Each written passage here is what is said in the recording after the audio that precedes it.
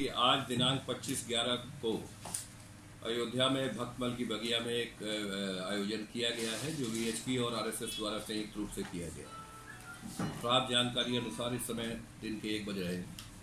इस समय करीब सत्तर से पचहत्तर हज़ार की भीड़ भक्तमल की बगिया में है और वहाँ पर वीएचपी और आरएसएस के जो उनके प्रवक्ता लोग हैं, वो बात कर रहे हैं, अपने, अपनी अपनी बात कर रहे हैं।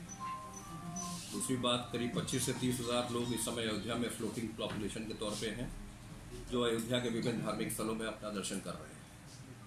किसी प्रकार से कानून व्यवस्था की कोई स्थिति अब तक कुप्रभावित होने की सूचना नहीं है। बहुत प्रभावी तौर पर डिप्लॉयमेंट किया गया है।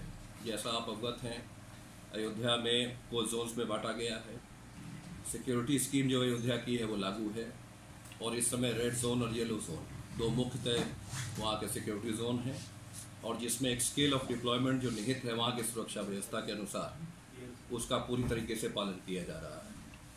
माननीय उच्चतम न्यायालय माननीय उच्च न्यायालय के जो भी दिशा निर्देश हैं उनका अक्षरशः अनुपालन करने के लिए राज्य सरकार और राज्य की पुलिस और प्रशासनिक तंत्र पूरी तरह से कटिबद्ध है और किसी भी प्रकार में कोई नई परिपाटी कोई नई व्यवस्था जो आ, आ, करने का जो प्रयास करेगा उसको हम रोकेंगे।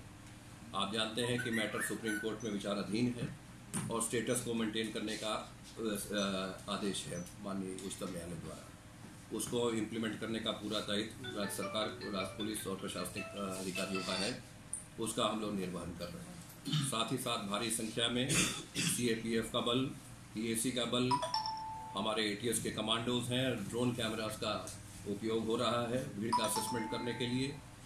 जैसा आप अवगत हैं कि तेरह पार्किंग स्थल नियत किए गए हैं और अब तक प्राप्त जानकारी अनुसार करीब 2000 बसें विभिन्न जगहों से अयोध्या आ चुकी हैं जिनको इन तेरह पार्किंग स्थलों में